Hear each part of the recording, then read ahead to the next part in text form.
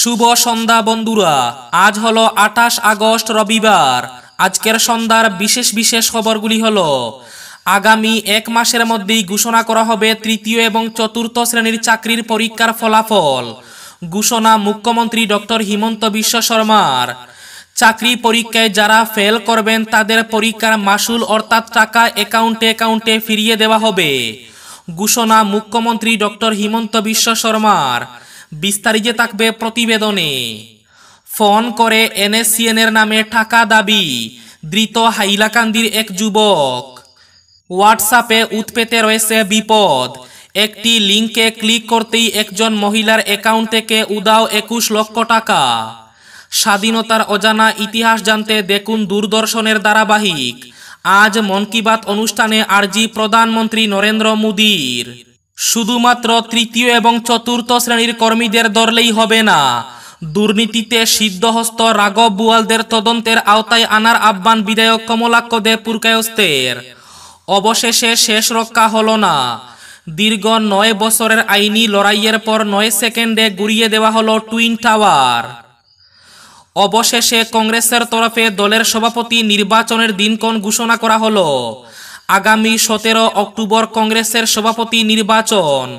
বিস্তারিত থাকবে প্রতিবেদনে। হাইলাকান্দি জেলার বিভিন্ন সমস্যা নিয়ে মুখ্যমন্ত্রীর দ্বারস্থ হচ্ছেন রাহুল রায়। এ আইইউডিএফ এর বিধায়কদের এক হাত নিলেন প্রাক্তন বিধায়ক। দত্তকে দীর্ঘ প্রক্রিয়া নয়, নিতে হবে দ্রুত সিদ্ধান্ত, কেন্দ্রকে সুপ্রিম কোর্টের নোটিশ। পরিবারের অপেক্ষায় তিন কোটি অনাথ শিশু। এবং শেষ খবরটি চাকরি পরীক্ষায় বরাক উপত্যকার বঞ্চিতদের আবার সুযোগ দেওয়ার দাবি আমিনুর রশিদ চৌধুরীর। তাহলে বিস্তারিত খবরে যাওয়ার আগে অবশ্যই ভিডিওটিতে একটি লাইক করে চ্যানেলটি সাবস্ক্রাইব করে পাশের বেল আইকনটি বাজিয়ে রাখবেন এবং ফেসবুক পেজটি ফলো করে ভিডিওটি অবশ্যই শেয়ার করবেন, যাতে সঠিক তথ্যগুলো সবার কাছে পৌঁছাতে পারে। এবার শুনুন আজকের খবরগুলির বিস্তারিত। প্রথম খবর গত রবিবার অর্থাৎ একুশ আগস্ট চতুর্থ শ্রেণির নিযুক্তি পরীক্ষা সম্পন্ন হয়েছে। আজ অর্থাৎ আঠাশ আগস্ট তৃতীয় শ্রেণির নিযুক্তি পরীক্ষা চলাকালে মুখ্যমন্ত্রী ডক্টর হিমন্ত বিশ্ব শর্মা ঘোষণা করেছেন, আগামী এক মাসের মধ্যে এই চাকরি পরীক্ষা সমূহের ফলাফল ঘোষণা হবে। তিনি জানান, আসলে মোট পরীক্ষার্থীর সংখ্যা নয় লক্ষ চৌত্রিশ হাজার। তবে একজনে একাধিক পরীক্ষায় বসার সুযোগ পাওয়ায় মোট খাতা হয় চৌদ্দ লক্ষ। তাদের মধ্যে ত্রিশ হাজার চাকরি পাবেন। বাকি সকলের পরীক্ষার মাসুল অর্থাৎ টাকা ফিরিয়ে দেওয়া হবে বলে জানিয়েছেন মুখ্যমন্ত্রী ডক্টর হিমন্ত বিশ্ব শর্মা। তিনি জানান যে ব্যাংক অ্যাকাউন্ট থেকে মাসুল পাওয়া গিয়েছে। ওই অ্যাকাউন্টে তা ফিরিয়ে দেওয়া হবে। মুখ্যমন্ত্রী ডক্টর হিমন্ত বিশ্ব শর্মা এই দুই ঘোষণায় পরীক্ষার্থীরা খুশি। তারা বিশেষভাবে উৎফুল্ল এক মাসে ফলাফল প্রকাশিত হবে জেনে। মাসুলের ফেরতের চেয়ে সবাই চাকরিরই প্রত্যাশী বলে জানান। ডিজিটাল দুনিয়া যেমন সব কিছুকেই সহজ করে তুলেছে, তেমনি একটু অসাবধান হলে উৎপেতে রয়েছে বিপদ, যার খেসারত সাধারণ মানুষকে বহন করতে হয়। অন্ধ্রপ্রদেশে সম্প্রতি এমনই একটি ঘটনা প্রকাশ্যে এসেছে, যেখানে একজন মহিলাকে সাইবার অপরাধের শিকার হতে হয়েছে। হোয়াটসঅ্যাপে আসা একটি লিঙ্কে ক্লিক করতেই হওয়া গেল একুশ লক্ষ টাকা। ঘটনাটি ঘটেছে অন্ধ্রপ্রদেশের এক অবসরপ্রাপ্ত শিক্ষকের সঙ্গে। মিডিয়া রিপোর্ট অনুযায়ী, মহিলার নাম ভারত লক্ষ্মী। মহিলা একটি অচেনা নম্বর থেকে একটি হোয়াটসঅ্যাপ মেসেজ পান। কোনো কিছু না ভেবে মেসেজে দেওয়া লিঙ্কে কয়েকবার ক্লিক করেন তিনি আর তাতেই বিপত্তি।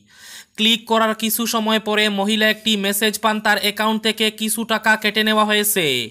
মহিলা যখন সবটা বুঝতে পারল, ততক্ষণে বড্ড দেরি হয়ে গিয়েছে। মহিলার অ্যাকাউন্ট থেকে কয়েক দফায় কেটে নেওয়া হয় লক্ষ লক্ষ টাকা। সঙ্গে সঙ্গে পুলিশের কাছে গিয়ে একটি অভিযোগ দায়ের করেন ওই মহিলা। এনএসসিএন এর নামে অর্থ দাবি করে পুলিশের জালে পড়ল হাইলাকান্দির এক যুবক। শনিবার তাকে মিজোরাম থেকে ধরে আনা হয়েছে।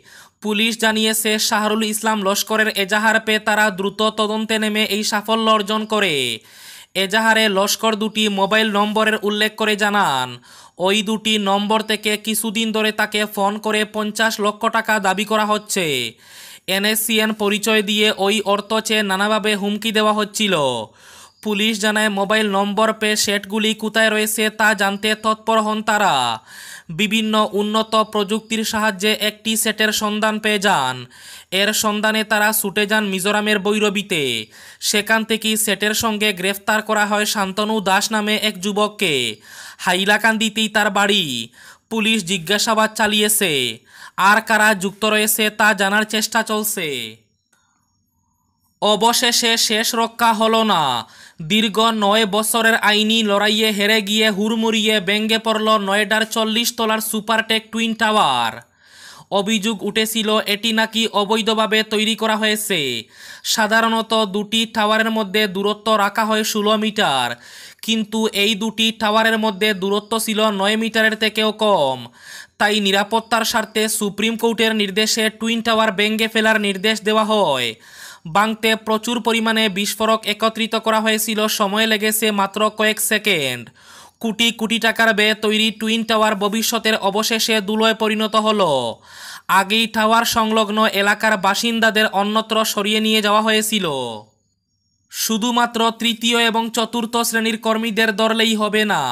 তাদের ডাল হিসাবে ব্যবহার করে যেসব আমলা দুর্নীতিকে প্রশ্রয় দিয়ে যাচ্ছেন, সেই সব রাঘব বুয়ালদের বিরুদ্ধে কঠোর ব্যবস্থা নেওয়ার দাবি জানান প্রদেশ কংগ্রেসের কার্যকরী সভাপতি তথা বিধায়ক কমলাক্ষ দে পুরকায়স্ত আমলাদের আটক করতে পারলেই এই অভিযান সার্থক হবে। অন্যতায় পরোক্ষভাবে আমলারা দুর্নীতি করবেন আর ধরা পড়বেন তৃতীয় এবং চতুর্থ শ্রেণির কর্মচারীরা। করিমগঞ্জের সদর সার্কুল অফিসের আমিন রঞ্জিত গোস্বামীকে অনেক আগেই গ্রেফতার করা উচিত ছিল। তবে দেরিতে হলেও তাকে আটক করার জন্য দুর্নীতি দমন শাখাকে এবং যার অভিযোগে তাকে আটক করা হয়েছে তাকে অভিনন্দন জানান বিধায়ক কমলাক্ষ দে পুরকায়স্ত এভাবে সাধারণ মানুষ দুর্নীতির বিরুদ্ধে এগিয়ে এলে সরকারি কর্মচারী থেকে আমলা কেউই রেহাই পাবে না। তাকে যারা পরোক্ষ শক্তি যোগায় তাদেরও যেন কোনো অবস্থায় রেহাই দেওয়া হয় না। বললেন, বিধায়ক কমলাক্ষ দে পুরকায়স্ত চাকরি পরীক্ষা থেকে বঞ্চিত প্রার্থীদের আবার চাকরি পরীক্ষার সুযোগ দেওয়ার দাবি জানিয়েছেন অসম প্রদেশ কংগ্রেসের সাধারণ সম্পাদক তথা দক্ষিণ করিমগঞ্জের ব্লক কংগ্রেসের সভাপতি আমিনুর রশিদ চৌধুরী।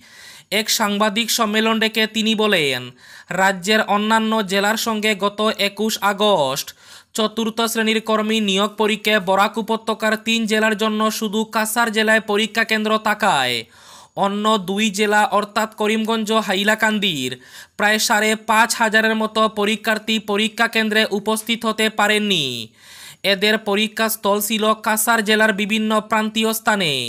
ফলে অন্য জেলার পরীক্ষার্থীদের যথাসময়ে পরীক্ষা কেন্দ্রে পৌঁছানোর পক্ষে যথেষ্ট সমস্যার সৃষ্টি হয়েছিল। তাই বঞ্চিত প্রার্থীদের পুনরায় পরীক্ষায় বসার ব্যবস্থা করার দাবি জানিয়েছেন রাজ্যের প্রাক্তন মন্ত্রী আব্দুল মুক্তাদির চৌধুরীর পুত্র তথা দক্ষিণ করিমগঞ্জ ব্লক কংগ্রেসের সভাপতি আমিনুর রশিদ চৌধুরী। অবশেষে কংগ্রেসের তরফে দলের সভাপতি নির্বাচনের দিনক্ষণ ঘোষণা করা হলো। জানা গিয়েছে, অক্টোবর মাসেই সভাপতি নির্বাচনের যাবতীয় প্রক্রিয়া সম্পন্ন হবে। সতেরো অক্টোবর হবে ভোট গ্রহণ প্রক্রিয়া আর উনিশ অক্টোবর ফলাফল ঘোষণা। তারপরই জানা যাবে দলের হ্রাস পরবর্তীতে কার হাতে থাকবে। রাহুল গান্ধী সভাপতি পদ সেরে যাওয়ার পর আপাতত অন্তর্বর্তীকালীন সভাপতি হিসাবে দায়িত্ব সামলাচ্ছেন সোনিয়া গান্ধী। জানা গিয়েছে, নির্বাচন প্রক্রিয়া শুরু হয়ে যাবে সেপ্টেম্বরে। বিজ্ঞপ্তি জারি করা হবে বাইশ সেপ্টেম্বর। মনোনয়ন জমা দেওয়া শুরু হবে চব্বিশ সেপ্টেম্বর। মনোনয়ন জমা দেওয়া যাবে ত্রিশ সেপ্টেম্বর পর্যন্ত। আর সতেরো অক্টোবরই বুটাবুটি হবে কংগ্রেসের পরবর্তী সভাপতি নির্বাচনের। স্বাধীনতার পঁচাত্তর বছর পূর্তি উপলক্ষে কেবল ভারত নয়, বিশ্বের অন্যান্য দেশেও অমৃত মহোৎসবের রং ছড়িয়ে পড়েছিল। আজ বিরানব্বইতম মন কি বাত অনুষ্ঠানে এমনটাই জানালেন প্রধানমন্ত্রী নরেন্দ্র মোদী। সেই সঙ্গে দূরদর্শনে প্রতি রবিবার রাত নটায় শুরু হওয়া অনুষ্ঠান স্বরাজ দেখার আর্জি জানিয়েছেন তিনি।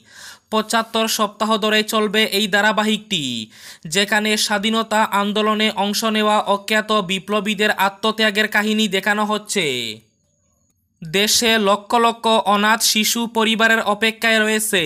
আবার অনেক নিঃসন্তান দম্পতি শিশুকে দত্তক নিতে চাইছেন। কিন্তু ভারতে শিশুদের দত্তক নেওয়ার পদ্ধতি এত দীর্ঘ এবং কঠিন। অনেক পরিবারের ইচ্ছা থাকলেও তারা মাঝ রাস্তায় রনে বক্ষয় হয়। শুক্রবার সুপ্রিম কোর্টের তরফে সেন্ট্রাল অ্যাডপশন রিসোর্স অথরিটিকে দত্তক নেওয়ার পদ্ধতিকে আরও সুগম করার আবেদন করা হয়। সুপ্রিম কোর্টের তরফে জানানো হয়, একটি অনাথ শিশুকে দত্তক নিতে গেলে তিন থেকে চার বছর সময় লাগে যা কখনোই কাম্য নয়।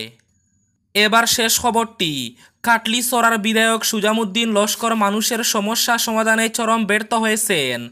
মানুষ যে আশা নিয়ে তাকে নির্বাচিত করেছিলেন সেই আশা পূরণে বারবার তিনি ব্যর্থতার পরিচয় দিয়ে যাচ্ছেন। কাটলি সরার নিজের বাড়িতে বসে সংবাদ মাধ্যমের সঙ্গে কথা বলতে গিয়ে এমনই অভিযোগ করলেন আলগাপুরের প্রাক্তন বিধায়ক রাহুল রায়। তিনি কাটলি সরার বিধায়কের তীব্র সমালোচনা করে বলেন, গত একুশ আগস্ট চতুর্থ শ্রেণির কর্মীর নিযুক্তি পরীক্ষা গ্রহণ করা হয়। হাইলাকান্দিতে নেই কোনো পরীক্ষা কেন্দ্র। হাইলাকান্দি কাটলি সরার প্রত্যন্ত অঞ্চলের দরিদ্র পরিবারের চাকরি প্রত্যাশীদের লিখিত পরীক্ষা দিতে হয় কাসার জেলায়।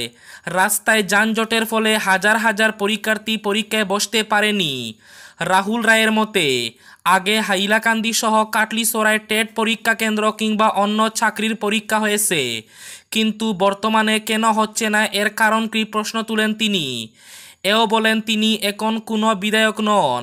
তবুও আগের পরিচিতি নিয়ে তিনি শীঘ্রই মুখ্যমন্ত্রী ডক্টর হিমন্ত বিশ্ব শর্মার সঙ্গে দেখা করে হাইলাকান্দিতে চাকরির লিখিত পরীক্ষা কেন্দ্র স্থাপনের দাবি জানাবেন। পাশাপাশি মানুষের সমস্যার কথা তুলে ধরবেন। এই ছিল আজকের সন্ধ্যার বিশেষ বিশেষ খবরগুলি। ভিডিওটি অবশ্যই লাইক করে শেয়ার করে দেবেন।